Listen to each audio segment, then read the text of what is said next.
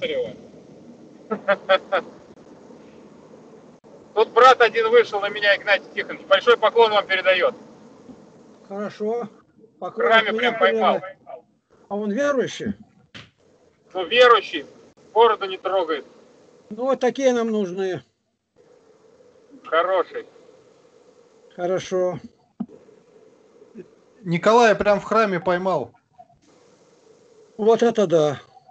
Храме поймал и много доброго сказал. Говорит, смотрит беседы. Смотрит беседы. Жена, говорит, у меня не крещенная, хочет принять крещение. К Кириллу Сахарову ходили они.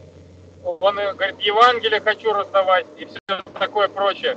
Я, говорит, а жена, говорит, ну что, не жалуется, но с улыбкой говорит, он, говорит, просыпается, у него уже включенный канал Игнатия. Включенный. Я говорю, ну так всяким словом Божьим будет жив человек, поэтому хорошо, правильно все делает. Я не выключаю, потому что мне сказали, если выключать, да потом разогревать, он быстрее портится. Компьютер? Да. Ну, это специалисты, если сказали, там у вас специалисты такие, что вообще... Я с ними познакомился, я... они просто все понимают на уровне там самого железа уже там, вообще мощные специалисты. Виктор Петеримов, потом, кто там еще? Алексей Загуляев.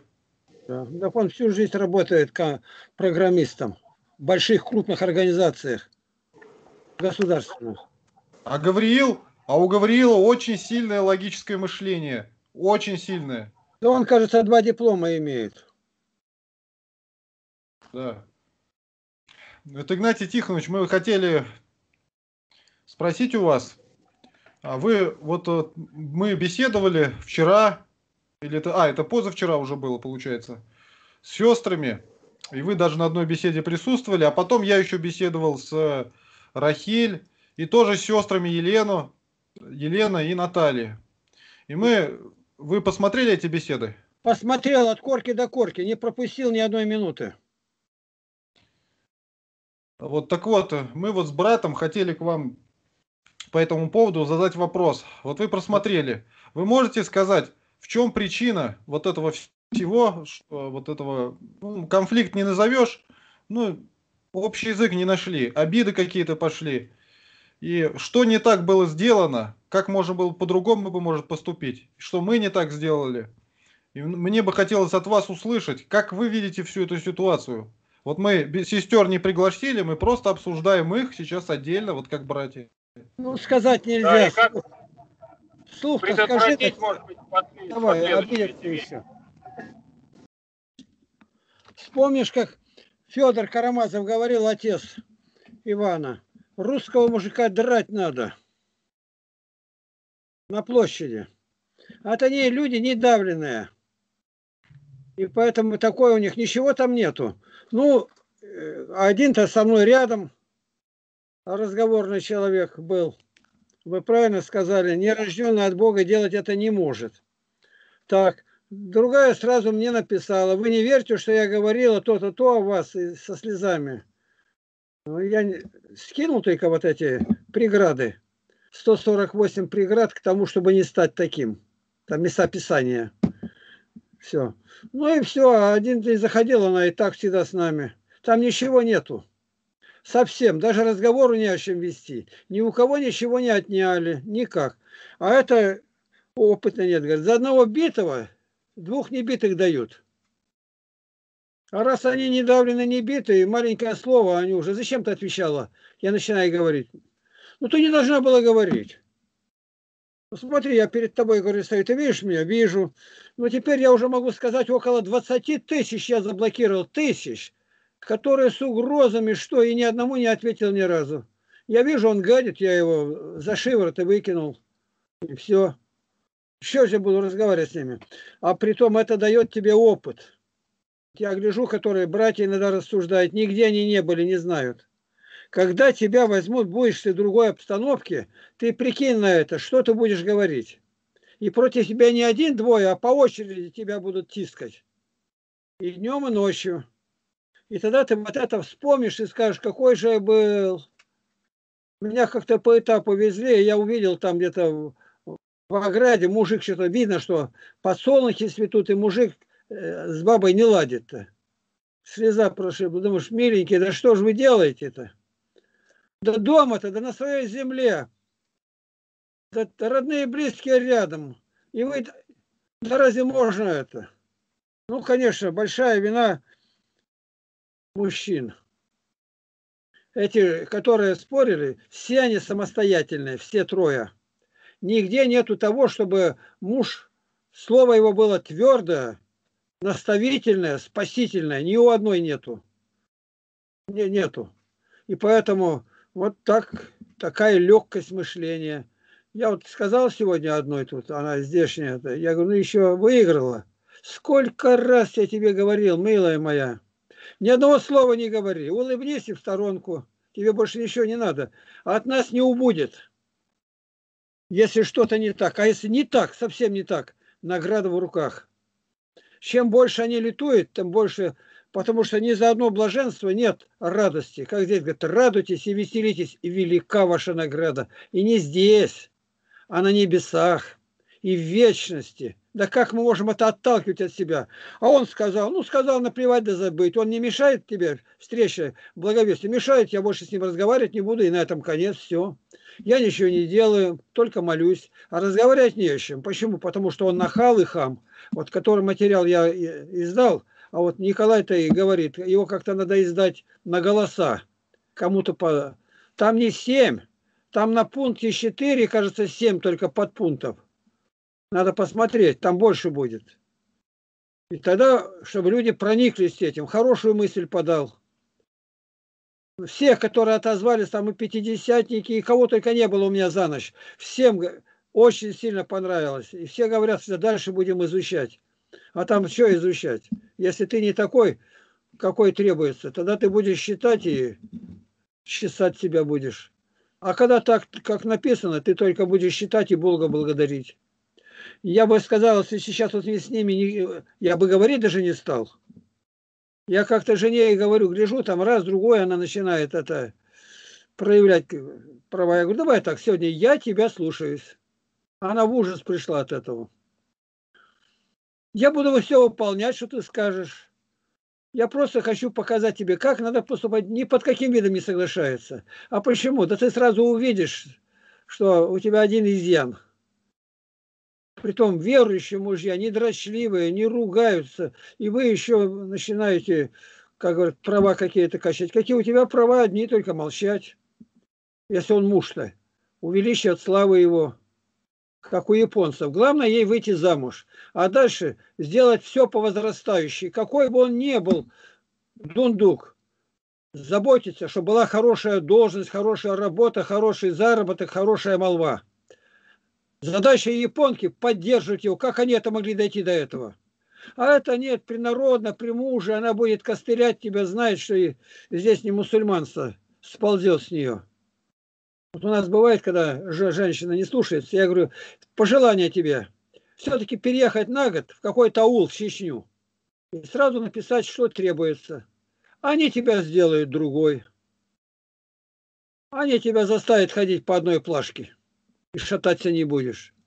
Я говорил, как одна пожаловалась на мужа, переехали в Казахстан. Написала на него заявление, он ее там поколотил, что ли, маленько. А, который там дежурный-то был, ее выслушал, все хорошо, принято. Не отказываешься, что написала? Нет.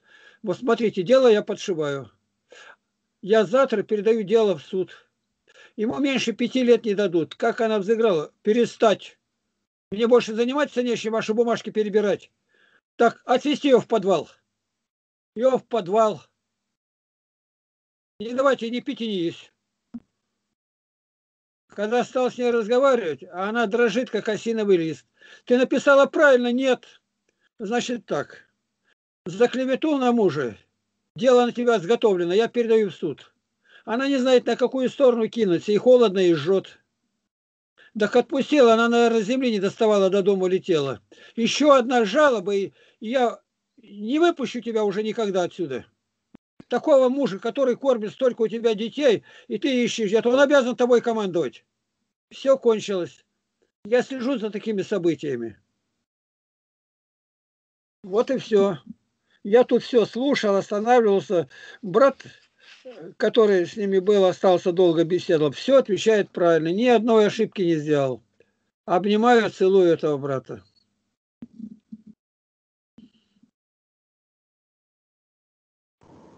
Но эти мужья, получается, что они, вот часто муж бывает даже неверующий, но он все равно жену держит в порядке. Он на место ставит и вразумляет ее. А тут получается, что не было этого. Просто мужчину не встретили, и поэтому такое вот следствие. язвительные слова находят, говорит, а как же ты молиться-то станешь? А самое главное, чтобы обращались с женами, говорит, кротко, благоразумно, дабы не было препятствий в молитвах. Дабы не было. Человек сходил и за собой не зарыл. Да сходил. Почему? Ибо посреди тебя ходит Господь. Вот это-то, когда нету, тогда все и лезет оттуда. В очах Господа как это будет выглядеть? Это Бог установил. Ты противишься не мне, а Богу. Между вами вот это вообще не должно быть. Ты не имеешь права без меня разговаривать с нею. А ты смотри, какие слова кинула. Я тут, которая близко рядом, так что работаю. У кого ближе, кто из этих находится, там работаете. Самое главное-то вот я общался и говорю, ничего нету там. Греха никакой ни одна не сотворила. Э, то есть обсуждать нечего. А вот начинает сразу говорить, а я знаю, я чувствую, что она там вот это думала, она вот это имела в виду. Я думаю, я чувствую. Вот это чувствую, думаю. Когда мы о братьях своих, оно вообще уместно или нет? Особенно, когда сестра сама, допустим, говорит, какая-нибудь говорит, я не это имела в виду. Понимаешь, она не должна слово, каждое слово ей в обвинение. Она не должна была ни говорить ничего. И поэтому она только раскрылатилась, уже и слезы, и, и все. Понимаешь ты или нет? Тебя Бог сотворил женщиной, и ты больше ничего не должна помнить. Все время ты, Господь тебя избрал, дал тебе задачу какую, и все остальное держи. Какой бы он ни был. Василий Великий не говорит, если жена изменила и продолжает дальше жить. Дальше ты имеешь право поступить. А ей говорит, если даже он изменил, и тогда не советуем отступать от него. Сохрани его. Ему говорят, так несправедливо это. Он говорит, знаю, несправедливо. Если муж отлучается там на 5 лет, то она на 8. И что? Один и тот же грех. Знаю, что несправедливо, но по-другому нельзя. Вот рассуждение одного из величайших отцов церкви.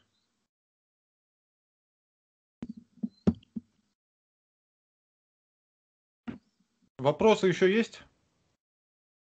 знаете, это, это которые собираются жениться, а сами такие еще, то обдумать сто раз. Я сегодня с одним братом, с которым беда случилась, он как взялся больной, ну и я говорю, а ты знаешь, какие отзывы дают в интернете-то? Вот там ты поступил неправильно.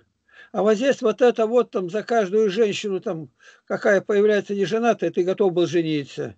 Ну и дальше-то тут видел в интернете мужик один, э, он такую рожу строил, прям сатанинскую, орган половой там показывает. И в прошлом году и говорят, у него началось с этого момента, когда он встретился, то есть он ему подсадил демона. Я ему высказал все, что было кем сказано. Так интересно, э, очень много людей выходит и начинает объяснять Притом обычно объясняют сами, которые как будто не без беса-то. Я заметил. Ничего здесь нету.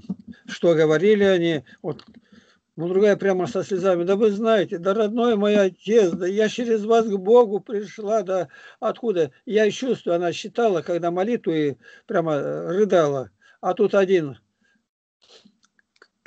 ну, знаешь, все время он все то против, то да, то да. Что она так, что она в самом деле, это постановка какая? И спросил ее, ты по на самом деле так сокрушилась? Она говорит, да. Он даже опешил, что можно не железом брякать. Все хорошие, это главное, это что мы не знаем их. Но я знаю обидчивость. Маленькое замечание сделал, когда у меня были-то. Она вспыхнула и больше месяца со мной не разговаривала.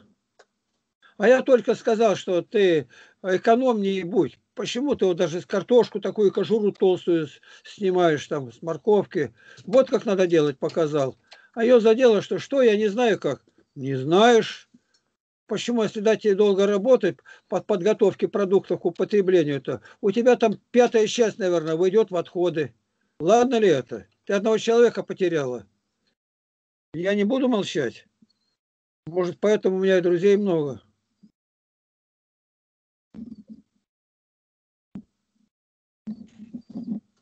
Ну, Игнатий Тихонович, как вот э, в таком случае не допустить?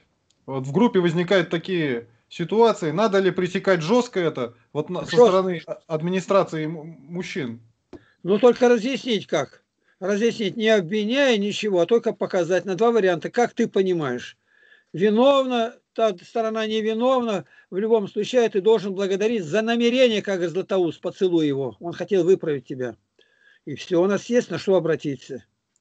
Никакой грубости, ничего не нужно. Но жестко пресечь это. Этого не должно быть. А то, что распространили там газете, сейчас я закончу, Николай. И тогда сказать, это показывает о том, что нам Бог позволил это. Мы не боимся ни молвы, ничего. И другие на этом учатся. Ну, могли бы не написать, что Давид там согрешил. Никто бы не знал, какой Авраам, кто какой Иаков. За чечевицу. Толкнули, пошел в другой шалаш. Это интересно так. А ты благодари Бога, что знаешь, никого не осуди. Осудить, то есть вот там приговор, да, неправильно. И он сам про себя говорит, я неправильно поступил. А эти-то ни на чем. Много говорят по пустякам, а грамотно выставляют такие материалы. Если скрыть это надписи, ты никогда не подумаешь, это редко какой священник такие наставления дает. А они там и, и святых, и жития святых, но они больше на моих ресурсах пасутся оттуда номер такой-то, вопрос такой-то, но главное знают. Я даже удивляюсь, как вы это находите. Я сам не найду так быстро. Ты меня прошлый, прошлый день-то шевельнул маленько, так я уж не знал, как перед тобой выслужиться. Ну, там же на сайте поиск работает очень хорошо. Мгновенно любой вопрос отвечает. Поиск. Хорошо. Ну вот так, братья. У меня с ними со всеми хорошо, одинаково. Ни одной. И каждый боится, как бы я не встал против ее. Все одинаково. То есть дорожат тем, что у нас есть. Я каждому сказал. И каждый говорит, родил меня, там, это открыл мне и прочее. Это что? Я могу только благодарить Бога, я и знать про это не знаю. Ко мне столько последнее время приходит совершенно незнакомых людей с семьями. И главное, один тут здоровый, говорит, богатырь, я узнал, как он выглядит он. И он заботится о наших детях, сиротах. И сегодня утром мне пишет, вы мой духовный отец. Я тогда приезжаю по Теряевку, богатырь. Тут поработаем. Вот так. С этими сестрами Николай. легко А, да. Вот я хотел сказать, что как важно все-таки заранее человеку показать к нему любовь, проявить, чтобы потом при возникающих таких вот ситуациях, спорных разных и даже конфликтах, можно сказать, ты мог быть э, таким примирителем, потому что даже Ар- если слова будут обличительные для него, то он все равно понимает, что ты любовь-то к нему проявил, и у него в глубине сердца это есть, он никуда это не может деть. Там сатана что угодно будет делать, чтобы настроить против, его жжет, положим, даже слово твое, его жжет, но он знает, что ты-то его любишь. И вот это впечатление, если оно отпечаталось у человека, когда, что ты его любишь, то ты уже тут, получается, Господь дает такую тебе э, возможность примирять вот таких людей, какое бы состояние ни было. Это я прям увидел на этой вот истории. И второе, что вот это ваше, вы как историк и писатель, копируете весь чат наш, и я думаю, что вы многое там можете наблюдать. От избытка сердца говорят же уста. И вы, я думаю, что следите. Я просто даже не представляю, кто эту работу возьмет, когда вас здесь не будет на земле. Это огромный труд. Сколько у вас уходит на это времени и сколько вы действительно смогли там отследить э, таких вот движений, которые потом вылились во что-то. Насколько это вам пригождается в таких вот ситуациях? Потому что я думаю, сам тоже начать что-то делать похожее. Да. Это, видите, я рассматриваю, как, как это в глазах людей будет. как отразится на здоровье, на внешнем виде. Все вопросы эти рассмотрены здесь. Это преграды каждым местом Писания, барьеры, ямы, которые вырыл Господь Писанием. И человек, который идет на конфликт, он все 148, там, кажется, мест Писания, преграды, перепрыгивает, ломает и рвется к погибели.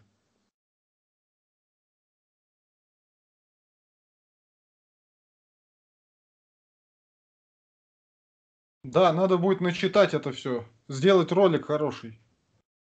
Ну да. Я хочу, чтобы распределить именно так места эти. Там я 15 насчитал пунктов, а под ними уже места 15. И это как раз десятина от нашей группы получается. 150 человек сейчас было, когда я писал. И э, вы, может быть, Игнатий Тихонович, сами распределите, чтобы человек, который начитывал, чтобы ему была максимальная польза от тех стихов, которые там заложены. То есть кому Нет, что начитать. Не буду я это делать. Я дал вам материал, который разжеван уже, поставлен на свое место, разбитый по пунктам. Каждый пункт указывает, что теряет человек, который ведет себя вот так конфликтно, хамски. И поэтому вы, вам это нужно сейчас этим заниматься. А так это я буду, вы до конца не дойдете, только внешне. Дальше вы увидите, как на каждом, вот по этому месте спотыкается человек, у которого такое сердце. Он не промолчал. Здесь как раз, когда молчание золото. Он должен был тихо молиться. Не был нигде, его не добили. Он везде... Я столько раз в жизни претерпел э, внутренно, охота сказать. Но спорят двое. Я вижу, кто прав. Но если они оба одинаково относятся ко мне. Но если я заступлюсь за одного, я одного уже потерял.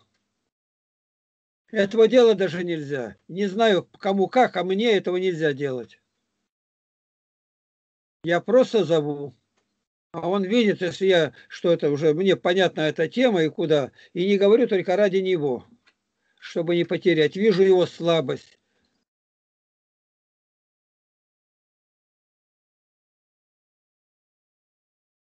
Да, Вот так, чтобы сказать, вот ты не прав, вот эти трое, я не могу сказать. Я никому этого не сказал и не скажу. Не скажу. Но они это понимают. Думаю я так, что они понимают, я мог бы сказать. Но я вижу слабость их, и это их совсем добьет. Я пока оставляю так, продолжаю молиться. Ну а дальше Господь покажет. Да, Игнат Тихонович, вот те, кто смотрит ваши ролики, ну, по крайней мере, недавно, они вот не знают об этом вашем свойстве. Они думают, что многие, что вы что не видите, сразу говорите. А ведь я вас как близко узнал, я понял, что у вас это всегда долго тянется. Вы вначале долго молитесь, и только... Да.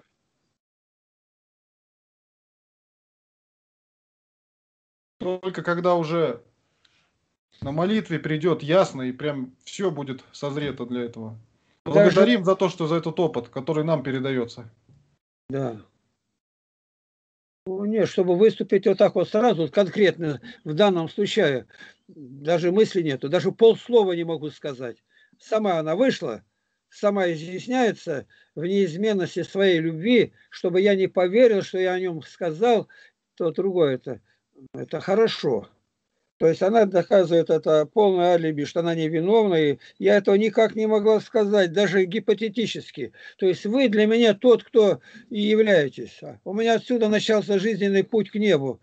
Я бы про вас сказала такое грубое слово, да никогда не верьте этому. У нее сейчас забота только об одном, чтобы я не поверил тому, что будто бы она против меня отрицательно высказалась. А я и на это не ответил ничего, просто выставил материал небольшой из священного писания, не добавляя ни одного слова. Вот у меня в большинстве случаев, когда говорит человек, я начинаю разговаривать одним языком. Слушай внимательно, тихо. Я тебе даю ниточку, тяни за нее. И ты выйдешь туда, где тебе надо быть, а ты не знаешь. Ты заблудился. А говорить я этого не говорю. Я ему писание. Проходит какое-то время, он говорит, понял вначале не соглашался, а еще, еще раз прочитал и увидел, что это как раз то, что надо. Видишь, я люблю Слово Божие, как Андрей Кувара сказал, необыкновенный пиетет к Слову Божию. необыкновенный для православных.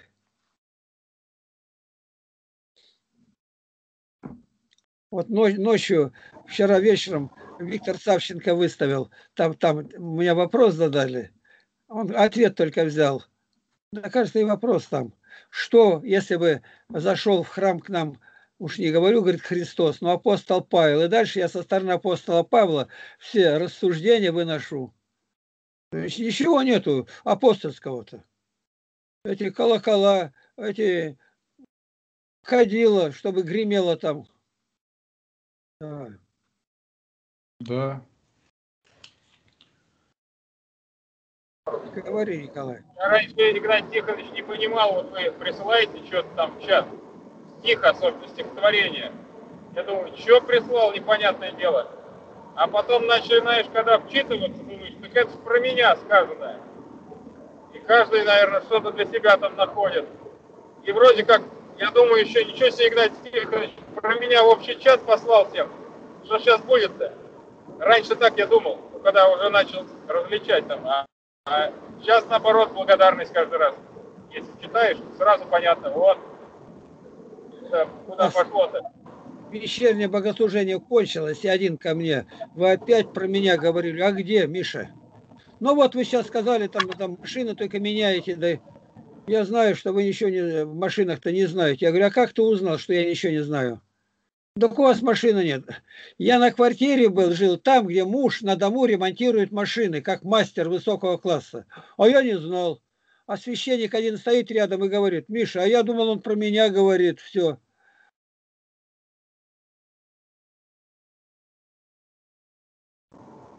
тут сейчас вот этот брат, дай бог, он выйдет на нас, э, Георгий из Москвы. Я послал то, что чат. Он говорит, мы с женой, говорит, разговариваем, какую тему обсуждаем. Потом я канал во свете Библии включаю, и Игнат Тихонович непосредственно по этой теме прям говорит. Я говорю, вот, и Вячеслав делился, говорит, что не успеешь задать вопрос, а Игнат Тихонович отвечает. Я, это, говорит, нечестно, Игнат Тихонович, вы что делаете? Я еще не спросил. И этот говорит, вот у меня то же самое абсолютно. Да мне это со всех сторон пишут. И у меня одна в письменном виде написала. Она блуждающая такая была. И у Кришнаитов, и все искала где. И в дороге, может, слышали этот рассказ? Я прямо по написанному говорю. В автобусе народу задавили, там невозможно повернуть это. И двое женщин разговаривают между собой-то. А она уши сразу к ним. Это то, что ей надо, что где-то занятия идут. Они едут после занятий с университета. И одна женщина, когда сошла, она на другую. А вы сейчас про что говорили? Она говорит, про занятия. А где это идет? Она говорит, технический университет. И когда? Вторник, пятница, с четырех часов. С 17 даже потом у нас было-то. Да кто еще любому можно, любому бесплатно? Да, конечно, бесплатно. Но она пришла, и там как-то не очень, в списках-то ее не было, а, а запускает-то по спискам. И она подходит к дверям и слышит, я говорю о втором пришествии Христа. Она дверь потихоньку открыла, и я голову повернул на нее. И вы, говорит, перестали говорить. А передо мной сидит, который ряды в университете-то, э, же, как мужчина, кажется, встал прямо рядом, около стола, где я за кафедрой стою. А кафедра это выше, туда прямо поднимать надо ступеньками. И пошел он на заднее, там место было свободно. А я, говорит, села прямо напротив вас. Вы на меня посмотрели и стали отвечать совершенно не то, что было. У меня было семь вопросов. Вы, говорит, вначале мои вопросы отвечать по, по порядку, в котором они у меня стояли. Как вы могли знать? Понятия не имею. Другие разводиться хотели и увидели объявление на столбу. Давай зайдем. Зашли, и вы как раз тоже посмотрели, давай говорить о разводе и все. И они не разошлись. Это достаточно было. Как это так? Мы с женой идем, разговариваем о воспитании детей. Ну, я прихожу, говорит, включаю, где не дослушал там какую-то тему. А я говорю, и как раз говорю то, о чем они с женой начали говорить. Он говорит, и при том это не один раз, это Юрий Соболев. Он преподаватель университета, академии и ведет курсы оглашенных в метрополии Красноярска. Э, поверьте, братья, я ничего не знаю.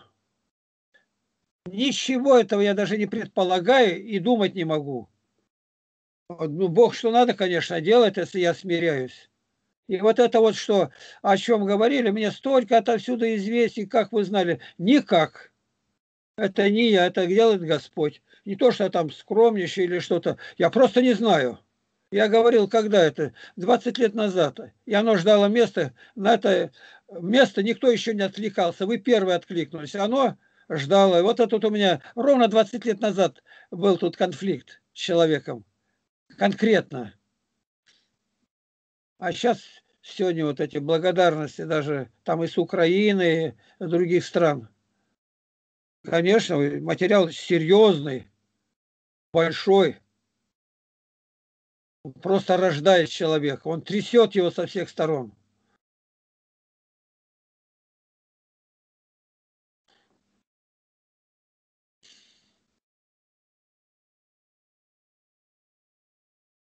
Да, Игнат Тихонович. Ну вот скажите, как, как относиться к священникам все-таки Московской Патриархии, которые в этом... Относиться к ним как? Как к знающим чему-то? Или вот как все-таки, как сказал Игорь, как глубоко больным? Ну то есть уже зараженным всем. То есть это ведь разница большая в, отношении к человеку. Ты если хочешь что-то донести, даже священнику, одно дело ты его воспринимаешь как священника, который там что-то знает, и ты ему что-то доносишь. Другое дело, ты понимаешь, что он ничего не поймет, он будет все отвергать, и как он больной просто, ну, все евангельское отвергает. И это другой уже подход от этого рождается. Я не могу объяснить это. А как вы узнаете, что именно тот он, который, или в эту, в графу в какую, оно само получается? И вот когда говорят, вот, там, вы знаете, этот Масленников Сергей, там он на Игнатия Бринщинина все строит. Стучат, стучит, стучит кто-то. Но.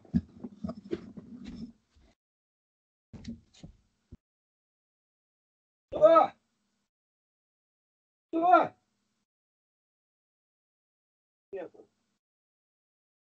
Что-то я, похоже, просто так послал человека. Ну что, может быть, и сейчас я гляну наружный свет. Да. Мне показалось что стучали. Ну, как будто не видать никого собака лежит на крыльце, он выходит, кто-то идет. Подожди, не зря. Так, Надежда вышла со своей двери и идет. И там кто-то на тележке катит, еще он возит. Так, она подходит к дверям. У меня проходит мимо в окно. А, у меня дверь наружная закрыта. Ребята, постойте, сейчас, сейчас она пошла колотить граница на замке. Враг не пройдет. Да. Вячеслав, а что там про Масленникова Игнатий Тихонович говорил? Ты ну, в курсе? Что там? Ну, что, что, у него все учение построено на борьбе со страстями. Больше ничего нету. Уровень до ветхозаветный, в чистом виде, до уровня Иоанна Крестителя. Все, больше ничего нету. То есть Игнатий Бринчанинов это верх святости, который достигается и много-много людей на этом сейчас стоит в православии. И они не могут выскочить из этого. О рождении свыше им вообще даже близко ничего не известно. Они не знают об этом ничего. Их держат на этом уровне, как в стенке, и все. Вот как в стенку человек врезается. И как совершенно, ну я из опыта говорю, как будто бесноватые становятся. Все евангельское отвергают напрочь. Вот просто напрочь. А благовестие отвергают напрочь. Для них это все недоступное становится. То есть вот эти стихи Писания берут, которые написаны, э, ну, там, «Избавь меня, Господи, спаси...» этот, э, Псалом 50, доходят только до стиха, где написано «Научу беззаконным путям твоим, нечестивы к тебе обратятся», это вообще ни во что не ставят, не берут. И вот этот Масленников и прочее. Хорошее оно, все хорошее, когда человек приходит от грехов, вот он приходит от грехов. Он пришел, ему там вот, но вот это все начинается, когда у человека, когда он родится свыше, когда он становится верующим, мгновенно, то есть он переходит в стадию верующего, и тогда ему вот эти все вещи доступны становятся. А пока он не перешел в стадию верующего даже, на самом деле-то, не, не было у него обращения духовного, настоящего. Он просто э, все эти практики применяет как буддист какой-то, который просто хочет себя подправить. Тут себя подправил, тут страсть свою, тут надо побороться с этой страстью, с этой. Но на этом уровне находятся все мусульмане, чистые, все буддисты, все на этом уровне находятся. Это уровень без Святого Духа. Борьба, без, когда ты борешься без Святого Духа. Он тебе не, не дает это. Вот, вот я что думаю. Ну, Игнат Тихонович, вы доскажите, что там про Масленникова? Ну вот он начинает учить там это все, записывать надо за собой, и может быть и правильно это. Вот одну какую-то сторону за день свой, начинай бороться с этим, начинай с этим. Да, это что-то дает. Но пока учишь пятый пункт, ты первый забыл уже. У тебя жизни не хватит. А как надо? Опять повторяю, что рождение Бог дает сразу. Вот сразу, вот он сидел три дня, не пил, не ел. И вышел через три дня. Какие недостатки была, кровожадность, ненависть. Все сменилось другим. Вот я работаю на корабле, когда Господь меня коснулся, у меня не было, чтобы я полдня или час думал-то никак. Это то самое, что я жаждал видеть. Это то. И моя душа сразу разворот начала делать, и что-то случается, вспыхнул огонь какой-то в костях. И я уже через полчаса другой. Я не боролся ни с какими недостатками своими. Их не было. То есть Бог выжег и память исторгнул. И все. И поэтому вот у Масленникова, если бы он был здесь-то, ну, я не знаю, так, я рядом-то не был, но смотрю, как вот он дает, они дневники там ведут, где это, это работа мертвая. Это твоя работа, не Духа Святого. Так можно механически научить человека. Не будет курить, там не будет изменять, но внутренне остается другой настрой. Доверие Богу и молитва и Бог перерождает. Другой, я не знаю, когда, что, как обратить. Он, у него все по-другому как-то скатывается. Какое замечание сделаешь, он сразу в обиду идет. На примирение он не понимает идти. То есть он все время теряет связь с будущим. Это перед Богом. Как это будет дальше-то? Ты был у нас по Теряевке, видел их, людей. Там ничего нету. И никак нельзя, что ничего нельзя. Я не должен иметь, должен молиться. От меня больше ничего не зависит. Вот как. Это у Надежды Васильевны позвонил э, Сергей, племянник ее едет. Он мне нужен на Большой Татре, а он на, на такой, на легковой. Очень хороший человек, намного дает обработки. Там Николай кто-то Давайте поближе. Кто там? Это... Вот, посмотрите. Николай, представь. Христос воскрес. Воистину воскрес, а я что-то не знаю, где. А, вон Игнат Тихонович наверху, да. Да, ну, а- они меня специально подальше сделали. Это что у нас, прямой мост, да? Да. Да, да. Так Коля, Коля теперь не только уже где-то, он вообще уже ходит по улицам и все снимает подряд. Все, что только возможно. Ну и что ты вот... Вот, просто показываю.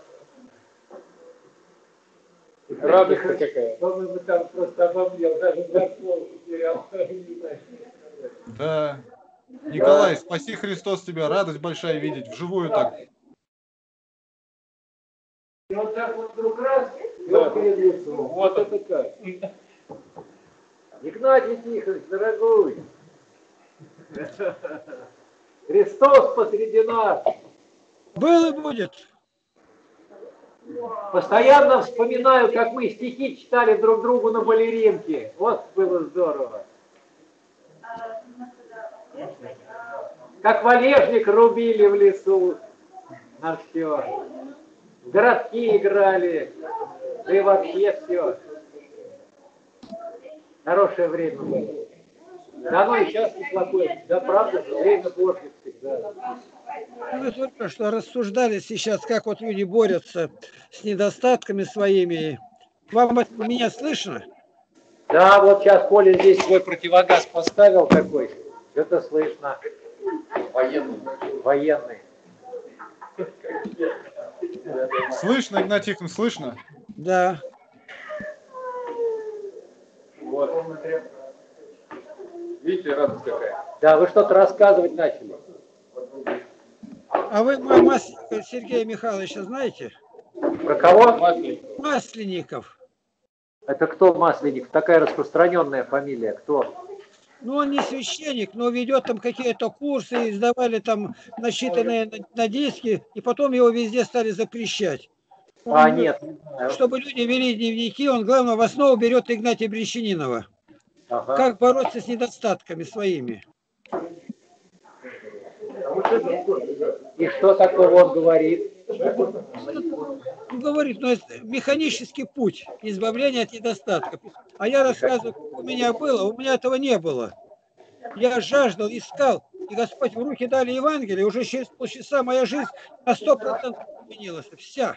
У меня не было времени бороться с недостатками. Господь их выжег просто сразу все, дыханием своим. Механический путь.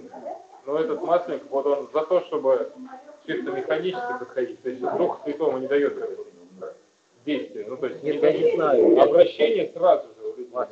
А этот не такое. Масленникова не читал. Не Ну вот и хорошо, да. Как, вы что, все смотрите, что ли? Да, мы тут общаемся. Да, Ну ладно, Игнатий Тихонович, у нас тут беседа начинается, отходим.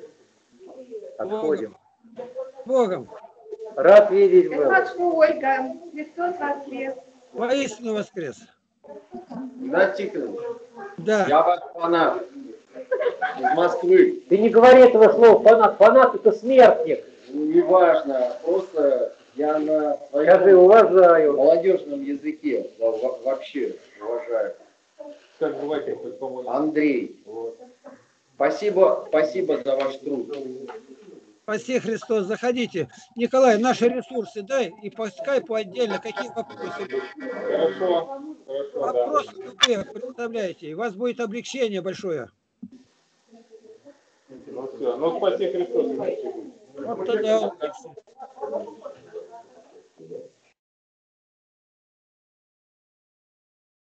Вот так, Игнат Тихонович. Вот это да. Вот так. А там вы не видели, там сбоку от него сидел еще Дмитрий Лемиш. Не видел я его. Он спрятался, видимо. Так, а батюшка-то как звать? Это же этот, э, как его, Андрей Юрьевич. Юрьевич, да. Он очень понравился мне, когда был здесь. Он нырял хорошо, помогал нам, где крещение идет, лягушатник делать. Я не спросил, как Арсений у него там. Можно будет написать. Девчонка его на- на- на- нарушила устав у меня. Но устав такой, что я ее не мог наказать никак. Она нарушила его по любви к человеку. Я ее оставил, так она, говорит, весь год там томилась ехать, когда в лагерь. Пусть меня лучше наказали, чем так. Так Батюшка, можно сделать, можно сделать связь, по- пообщаться с ним. Вот сейчас Да, у них там. У них там занятия сейчас идет, просто начинаются. После занятий можно. пожалуйста. Увидал меня, я в уголке вверху. А я потом спрятался. Ну, вот такие вот. Ну, вот такой, не забыть, главный вопрос-то решается. Довериться Богу. Возложите на Него, говорит, все упование ваше, и Он совершит. Да.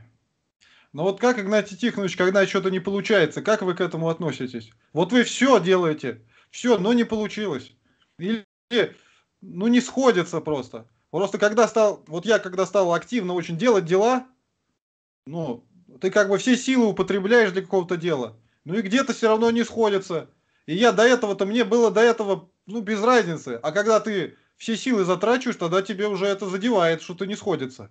И ты понимаешь, что тут надо по-другому относиться к этим вопросам. Как Иногда- относиться? Иногда переждать надо. Поблагодарить Бога заранее, что так случилось. Вот ты стоял в церкви, молился, все, а у тебя вырезали из кармана деньги. Что ты должен делать? Если ты будешь негодовать, это как раз то, что дьявол и добивался. Ему не деньги нужны, ему нужно твое смятение души. Конечно, ты растяпа, что не, не сделал так, как надо, чтобы не своровали. Но уже все, потерял. И тогда возблагодари Бога, Господи, а могло быть хуже. Тело у меня целое, благодарю тебя. И дьявол заскрежещет зубами отойдет.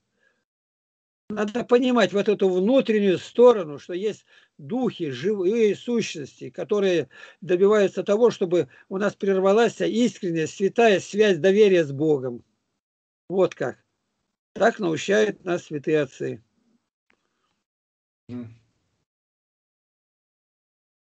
Да. Я думаю, если бы вот кто я делал, сейчас вдруг не, препятствия такие получились, то как бы поступил я? У меня в самом разгаре были, вот когда уже начитанные пленки, уже привезли, все, и вдруг арест.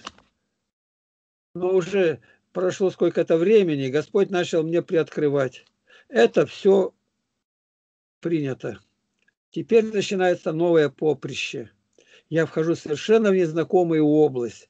Тех людей, к которым я хотел бы проникнуть, но никак нельзя. И тогда Господь предварил, как Захея.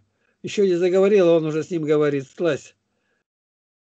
Мне надо на сегодня быть у тебя, как раз сегодня считали. И вот я на это обращаю внимание.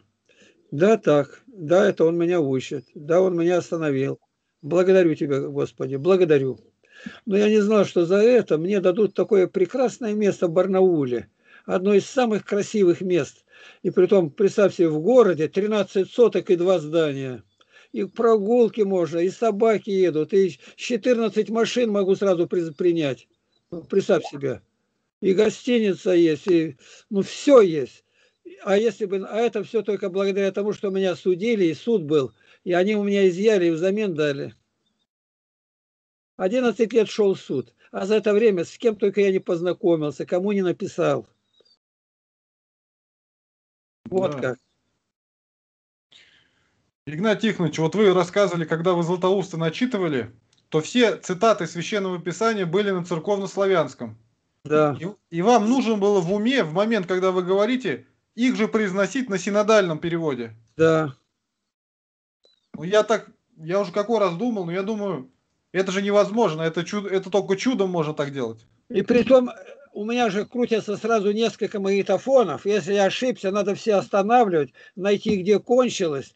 Э, это невозможно. Вот где невозможно. А здесь чтение по диагонали. Я вперед еще читаю по-русски, а уже я высветил этот стих, который надо переводить. И я не останавливаюсь, никто не заметит. Все думают, что я написал там карандашом или как, перевод где-то. Этого у меня не было. Я просто смотрю, и эти, ци, эти буквы у меня превращаются в синодальный перевод. Ну там ведь вообще может быть друг, по-другому написано даже. Я может... потому что слушаю, я церковно-славянский слушаю в храме. Перевод я знаю наизусть. Перевод, ну наизусть. Но все равно меня путается, э, когда я слышу церковно-славянский, я так не могу. Ну, я не знаю про теперешнее свое состояние как. Но тогда для меня я я никогда не удивлялся этому. Вот я когда пишу стихотворение, вот вчера с этим-то встретился, он пом помогает. Коващев, там еще один кто. Угу. Вот. Юрий. Да. И вот он, как говорит, я когда сначала-то считал, говорит, действительно не понимал, а потом стал считать, там такая глубина, там столько сказано, и все это по Писанию. Дескать, когда я писал-то, я же не думал об этом. Как я мог думать? Ну, представь себе, вот пачка продается, бумаги А4, печатной на машинке, 500 листов, 7 пачек друг на друга положи, и еще сверху несколько и все до одной заполнены карандашом, потому что ручки это дорого. От верха до низа и ни одной помарки.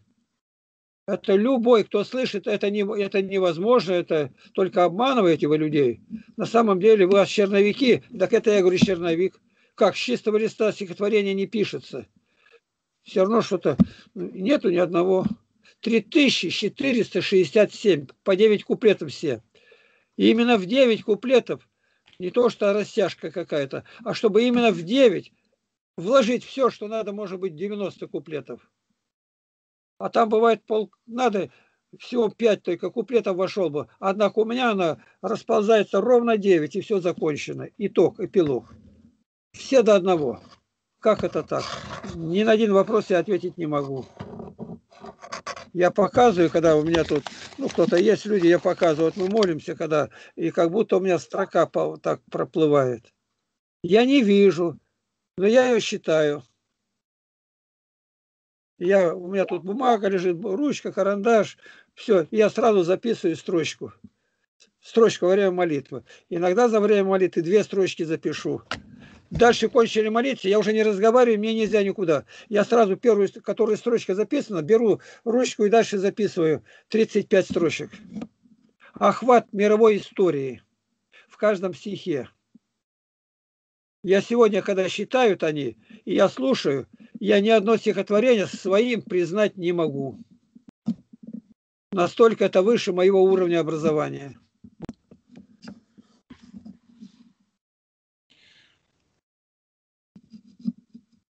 Игнат Тихонович, конечно, стихи это вообще еще... Хорошо бы их было распределить по темам.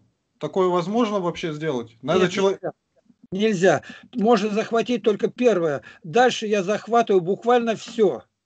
С частыми повторами, чтобы продолбить, но с разной позиции. Цитирую места Писания, все это в стихотворной форме.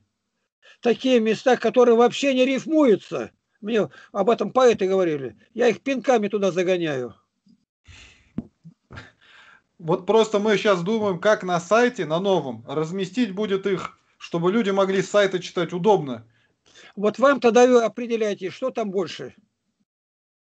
Потому что я тоже, я читаю, вот я смотрю, о благовестии, но начинаешь дальше читать, там и другое, и о монахах, там и о России, и куда отнести, к какому, непонятно.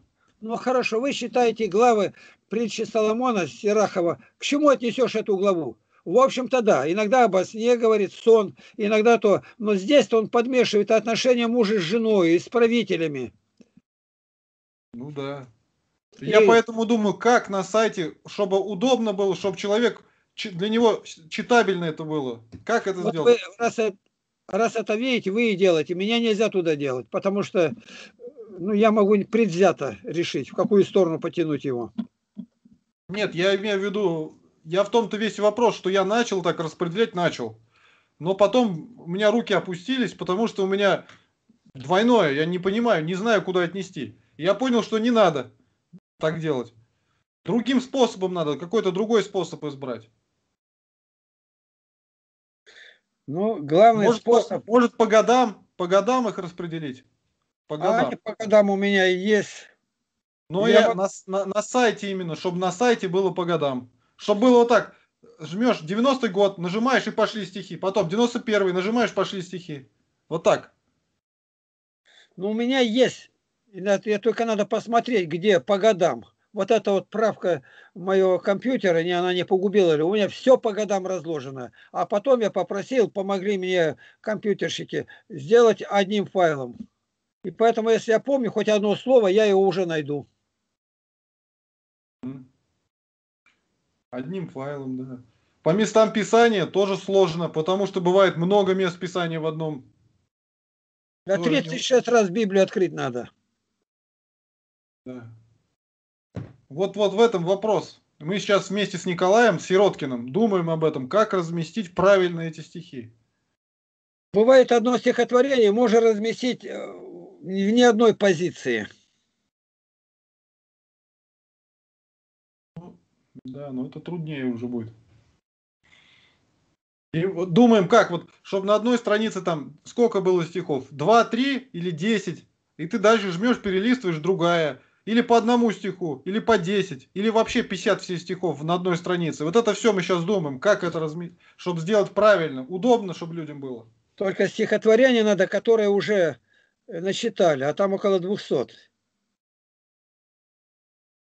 Ну, стихотворение-то все разместим, а которые начитали, от стихотворения ссылка будет на начитанное. То есть вот стихотворение, и снизу ссылка нажимаешь, и, начитка идет. Вот так. Начитка Ви- Викторова, где он играет, поет.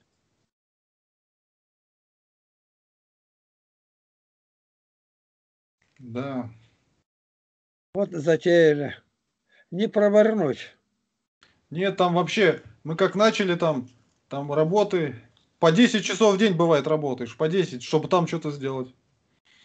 Я вот проповеди, когда насчитывал, Георгий Кадушкин, вот просто я говорю, а может быть даже не поверите, я как будто первый раз их слышал. Да, я верю.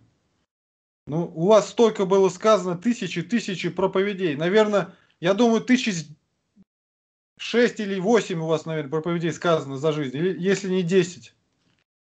Ну, правда, это у меня, может быть, десятина только осталась целая. И в поездах, и везде, везде, и в метро, и везде. Просто около храмов прям настоящие проповеди были. Но ничего нигде не осталось, записи не было. Сохранилось 1300, кажется.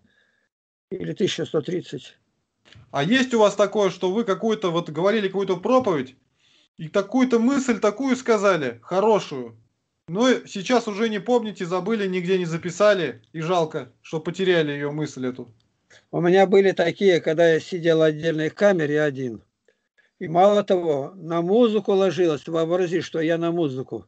И я ее напиваю там, ни карандаша, ничего нету, и запомнить некогда. И просто идет и идет.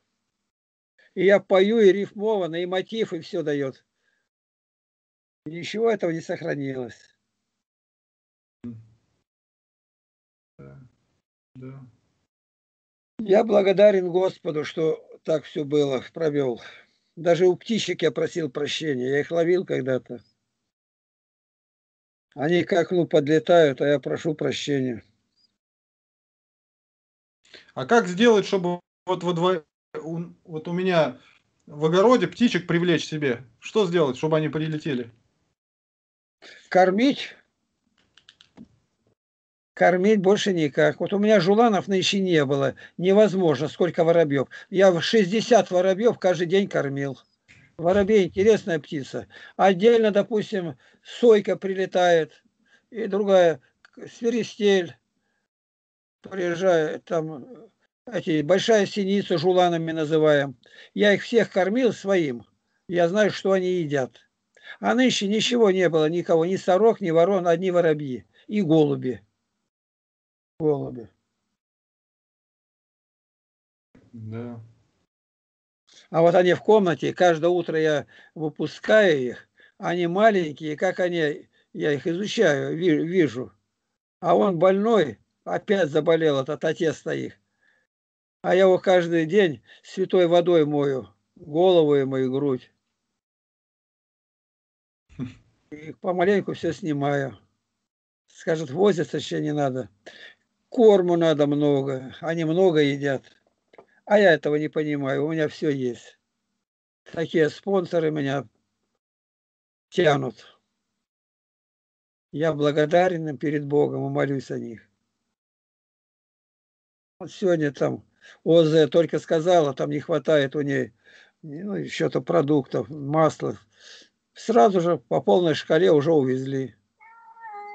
Тут с Украины беженцы были, ко мне обратились, я пошел как мешками сразу закидывать их по мешку. А мешок 50 килограмм. Это и мука, и манка, и э, все есть, и горох лущеный.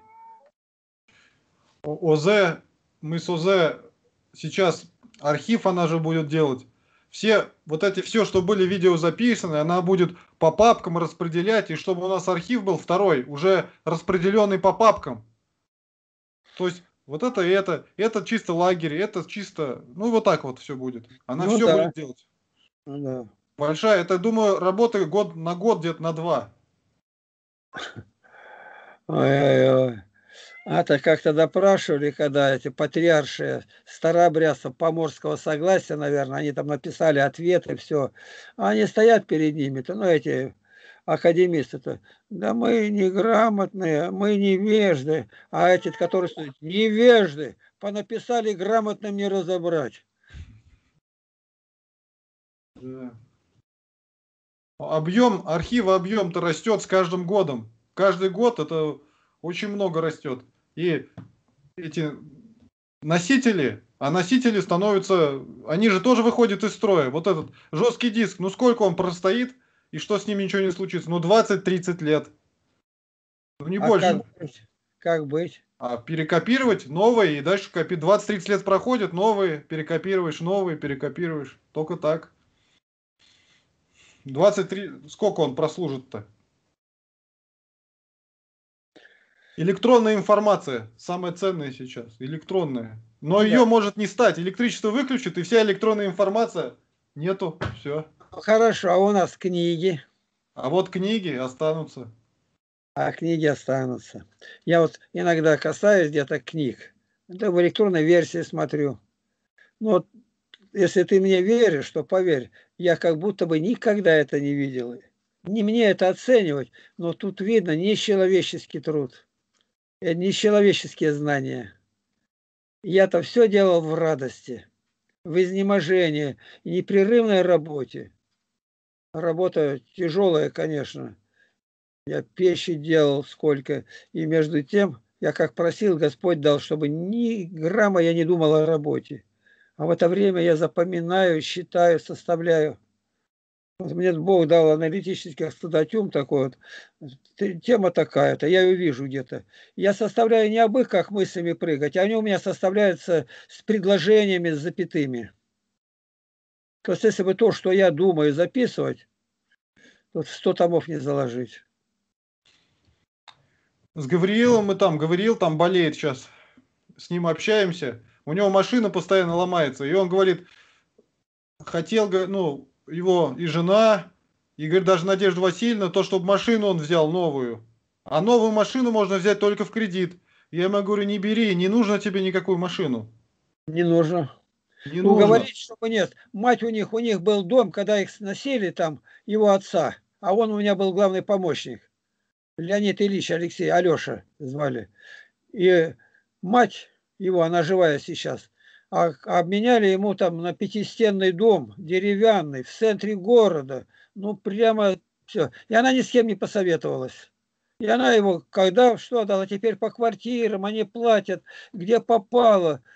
И, все. То есть ду, она никогда не советовалась ни с кем. Такие вещи делают люди, что не поправить ничего нельзя. Никогда ничего не бери в кредит. Я составлял устав для деревни, и там это написано. Но я по-другому не знаю, как вот Игорь взял, представь себе, за кредит только 1 миллион 200 тысяч дать, отдать надо. За кредит. Наценка такая. Разбой. А Никак. Комбайна нету, ничего не сделаешь, не уберешь. А он говорит, я год-два и все это рассчитаюсь. Тут я молчу. Ну как, урожай, а он только урожай. А без техники ты ничего не сделаешь. Ну вот он говорит, что все его, все вокруг у него, близкие родственники, все на него давят, чтобы машину он приобрел. Все говорят ему. Он брал уже в кредит где-то, а потом прятался 8 лет. Ему и голову отрезать хотели, и все. Рассчитать это не может. Из-под тебя Я так- матрас, матрас и жену из-под тебя вытащат. Ни под каким видом кредит не иди. Лучше умри. Вот я об этом и говорю. Они- а там, видать, жена и дети, ой, ну, они дальше, детей возить надо, Надежду Васильевну возить надо. Все, все, все ее, все не на надо возить, она должна быть дома. Я запрещаю ей выходить из дома. Все, отпал один вопрос. Второй. С детьми надо заниматься. А то поставили отраву какую-то. Ребенок-то отравился. Какую-то эссенцию или еще выпила. Аж Ну было. вот, Игнат Тихонович, вы, я просто вчера с ним общался и вот эту информацию узнал. Я вам передаю, вы же от него крестный, чтобы вы его поддержали, если что. а я этом- поддержу. Я поддержу пинком. Ну, под пинком хоть как. В другом направлении. Забудь про это. Денег нет, значит, все, вопрос отпал. Экономно живи. Я бы мог уже не одну машину, самую дорогую купить. Но потому у меня и деньги, что деньги были, что Господь знает, я их не потрачу. И Бог мне доверяет это. Люди даже ну, никак не могут поверить. Вот вы поехали, за книги только, которые мы пода- подарили, 35 миллионов стоит. Где же вы деньги такие берете? У Бога, он богатый. А кто? Бог, я сказал Бог, а через кого меня не интересует это. Я не для себя делаю. И у меня благодарности нету даже, чтобы я каждый день этих людей вспоминал. Почему? Я благодарю того, кто дал. А через кого я один раз помолился и все. А Игнат Тихонович, а там никого нету, вот, допустим, не знаю, Алексей Загуляев или Виктор Петеримов, кому программисты нужны? Он же говорил, хороший программист. А он работает в ДНС. Это самая паршивая фирма. Там с людьми вообще никак обращаются. С утра до ночи. И с тобой, ну ничего, очень плохая фирма. Неужели не, негде ему там пойти? У него такое образование. Образование такое хорошее. Я не могу ответить на эти вопросы. Я знаю только, что он в субботу, бывает, в воскресенье работает, и все время, и до темна. Зачем же такая работа нужна? Он сам властен. А что долги платить надо? Он залезет в долги. Долги платить надо больше, вовремя. И поэтому он раб. Я ни одного дня не был рабом. Ни одному человеку не был должен. Меня подставляли. Один тут у нас, жена у него верующая была, а он такой шалопай. И где-то что-то взял и со- сослался на меня. Под моим фамилием, именем взял. Ну, а эти названия, вы когда будете рассчитывать? Я говорю, за что такое? Я вас не знаю. А как вы узнали меня? Они говорят, ну и высчитали, кто это говорил. Так это вон Саша Малютин. Нет, я говорю, я к нему отношения никакого, не член общины, никто. Он больной человек, а вы даете ему. Ну и все, отстали от меня, потому что ничего нету. Ни одному не должен. Нынче я задолжал, э, утром задолжал я в 9, наверное, уже часам к трем дня я рассчитался. И нужно было для человека купить что-то не для меня, для человека в Корчиной 15 километров от нас, чтобы был заезжий дом. Дом продает. И все забился. И который продавал, он мне близкий человек. Ну, он сказал, цена такая. Я когда деньги-то отдал, я говорю, так дом дороже стоит. И еще сверху ему еще 20 тысяч дал. Никогда так не торгуется никто, чтобы э, сколько просит, так дал больше. А я его убедил взять, потому что дом твой дороже. Ты уезжаешь и поэтому отдал. А там, ну, ключи, документы, все это оформляйте, чтобы мое имя, фамилия нигде не фигурировала. Вот теперь вам есть куда заезжать.